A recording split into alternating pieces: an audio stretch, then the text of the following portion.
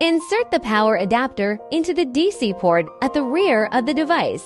Select the appropriate temperature, frequency, light wave, and time on the control panel. Click the temperature button, press plus or minus to adjust to the desired temperature.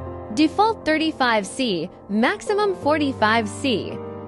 2 minute warming, recommended to choose 40C. Click the frequency button, press plus or minus to select the frequency mode. Default 1, maximum 20. Click the light wave button to choose the light wave mode. There are 7 light wave energy options. 8 for automatic continuous rotation switching of light wave modes. 9 for continuous flashing composite light wave mode. Click the time button, press plus or minus to adjust the therapy time. Default 30 minutes, maximum 60 minutes. First time users may choose within 30 minutes.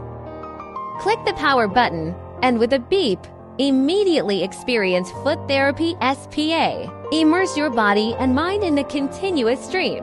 The acupoint of heat energy transmitted from the Yongquan on the soles to the whole body, enjoying comfort and relaxation. Touch the Bluetooth button to connect to your phone's Bluetooth. Enjoy reading or listening to music while doing foot therapy, adding more fun. THZ Quantum 7 has a child lock function. If there is no operation for 10 seconds, the operation panel keys will automatically lock the screen. To unlock, press and hold the power button for 3 seconds to operate the keys or turn off. Remote control operations. Remove the transparent plug on the remote control. Press the remote control's power button to start Quantum 7. And with a beep, you can select the desired temperature, frequency, light wave, and time on the remote control.